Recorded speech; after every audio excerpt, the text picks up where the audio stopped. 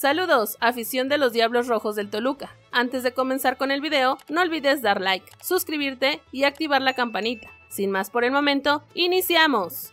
Rubén, el oso, González llegaría como refuerzo. Los Diablos Rojos del Toluca siguen moviéndose en el mercado de fichajes previo al arranque de la apertura 2022 en la Liga MX y ahora se ha destapado que los Escarlatas habrían cerrado un intercambio de jugadores con los Rayos del Necaxa, cediendo a Kevin Castañeda y logrando el arribo del ex Club América, Rubén, el oso, González. De acuerdo a la reportera Diana Mack, el equipo choricero estaría logrando este intercambio a petición expresa de su director técnico, Nacho Ambriz, quien conoce perfectamente a González, pues lo dirigió en su etapa como DT del Club León hace un par de torneos. El Oso González jugó 17 partidos para el Necaxa el pasado clausura 2022, participando en el 88% de los minutos totales. Además de Necaxa y León, González jugó para las Águilas del Club América como medio de contención.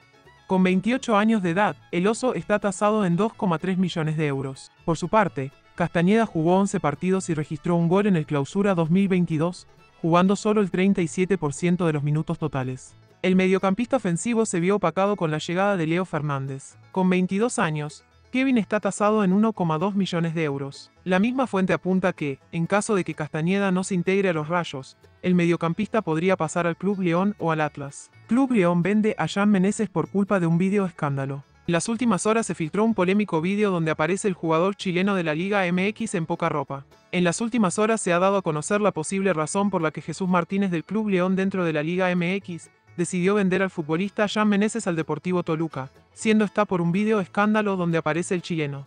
En diferentes redes sociales ha comenzado a volverse viral este vídeo donde se le puede ver al ex delantero del Club León semidesnudo, generando gran controversia, por lo que todo apunta que este puede ser el motivo de su venta a los Diablos Rojos. Entre los medios que afirman que esta fue la principal razón de la salida de Jan Meneses de los Panzas Verdes, entre ellos el periodista deportivo, el francotirador, del diario Récord, afirmando que esto molestó a la directiva del Grupo Pachuca. A muchos sorprendió la salida del chileno del equipo del Club León para el torneo Apertura 2022, ya que era uno de los futbolistas más importantes del equipo y contaba con toda la confianza de la afición, siendo pieza fundamental en el campeonato del pasado Guardianes 2020.